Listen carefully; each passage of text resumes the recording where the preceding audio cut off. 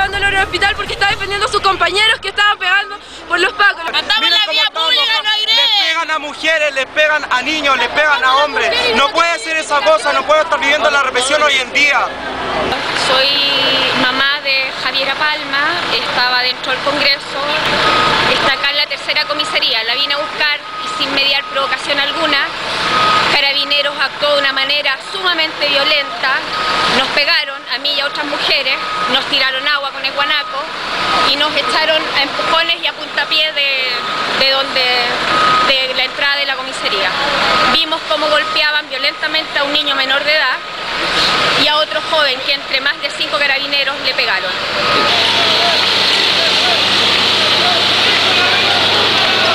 Hola, ¿cómo se ve hasta ahora la situación acá en las calles? de Mira, el protocolo que están usando carabineros no, no corresponde, pero esto es, según el mayor me dice que es orden del gobierno. No es porque carabinero quiere proceder, porque ellos, ellos quieren hacerlo. Estando, haciendo no haciendo nada no- las personas, había que proceder en cualquier tipo de forma. Eso es.